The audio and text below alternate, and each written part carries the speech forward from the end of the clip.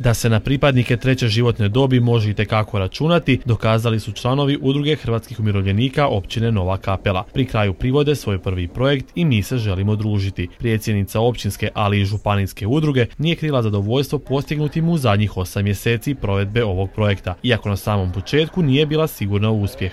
Bila sam skeptična, međutim sada nije kraj ovo toga programa, ovo je početak jednog novog života u Novoj kapeli sa umirovljenicima.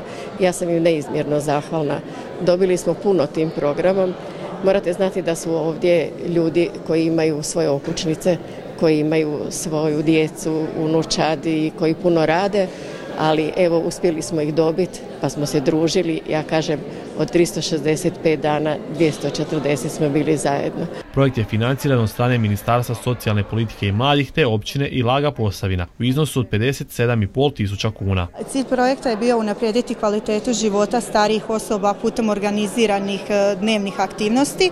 Znači imali smo tijekom cijelog tjedna aktivnosti, e, ponedjeljkom je bilo radionica glazbe i plesa, utorskom imali e, zdravstveno rekreativno, tu je bio fitness, E, srijedno smo društveno igrali su Pikado, Šah, Belot, četvrtkom je kreativna radionica bila, a petkom smo imali klub čitatelja 60 plus i filmsku radionicu. Upravo osnivanje zbora umirovljenika jedne od zanimljivijih aktivnosti projekta.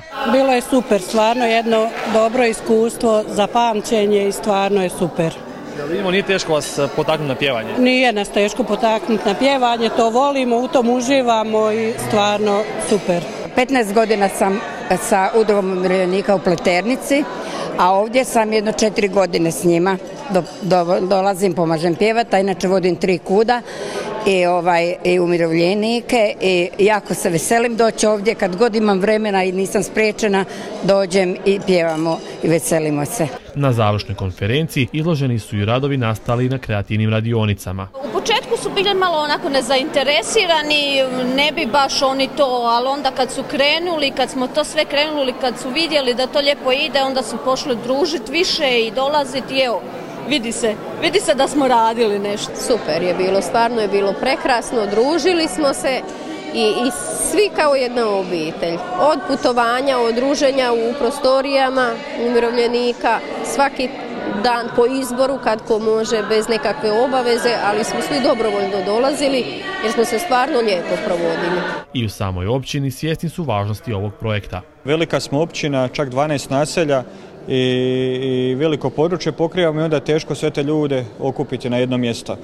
Do sad je naša udruga umirovljenika jako kvalitetno funkcionirala, dakle redovni sastanci, putovanja, predavanja, predavanje najčešće u vezi zdravlja i to je sve bilo jako kvalitetno možemo reći. Podrška provedbi ovog projekta bila je lokalna akcijska grupa Posavina. Doista smo osnaživali udruge u raznim smjerovima, pogotovo uh, u onom periodu kad je trebalo uskladiti sa novim zakonom o udrugama i, ostale ove formalne i zakonske regulative, uh, ali pogotovo udruge koje uh, imaju želju da rade i da pojačaju svoje aktivnosti, da sudjeluju kroz nekakve programe natječaje, da realiziraju nekakva sredstva dodatna. Upravo je ovaj model financiranja rada udruga ističu u općini budućnost, ne samo u Novoj kapeli, nego i šire. Samo financiranje, praćenje natječaja, nebitno li to na razini Zagreba, ministarstava ili to Europska unija, tako da, da su oni s time krenuli, evo, mogu reći probili su leda naše općini, prva veća sredstva koja je neka udruga dobila i ja vjerujem da ono što je u budućnosti će biti samo može biti još bolje i kvalitetnije, a ova udruga našim mještanima u toj zlatnoj životnoj dobi pružiti ipak jednu onu veću kvalitetu života. Aktivnosti nastale za vrijeme projekta neće se njegovim završetkom prekinuti. Mene je jako drago što evo i projekt završava, ali radionice i dalje ostaju. Znači zbor i dalje djelovaće, kreativna radionica i dalje isto će biti i bit će ovaj, pikado i to druženja njihova petkom. Tako da mi je baš drago što je projekt imao neku svrhu i da smo ostvarili ciljeve. Ipak druženje je stavljeno u prvi plan. To je neizmjerno bogatstvo i stvorili su se i nova prijateljstva i zato kažem da ovo nije kraj jer svi su izrazili da će dolaziti i dalje.